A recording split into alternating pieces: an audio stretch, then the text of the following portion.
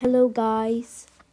I accidentally deleted Roblox and I reinstalled it and now I have to make a new account.